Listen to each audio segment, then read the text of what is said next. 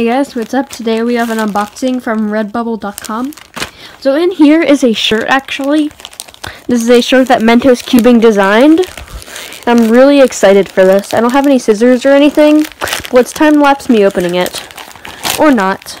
Okay, so I'm not sure if there's any receipts, but here we have uh, sticker, Redbubble sticker, I guess. And then here's a little note. You guys can pause the video and read it if you want. And then, and here is the shirt. I'm insanely excited. There's nothing else in there.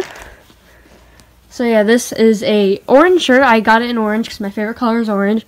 And it says nice rubric, which is a meme for cubing if you didn't know. I was either going to get this or my friend Kyle had one of those shirt had one of those shirt, but I like the nice rubric shirt better. So now I'm going to show a little snapshot of me wearing it. Alright, so this is what the shirt looks like when I have it on. So here on the front says nice rubric. And then there's nothing on the back. It fits actually really well. Like it, it, I can definitely grow into it. But if anything, I can easily just like fold it up and use it. But again, I really like this shirt. Thank you so much to Mentos Cubing for designing it. And I'll definitely wear it to school this year and around this summer.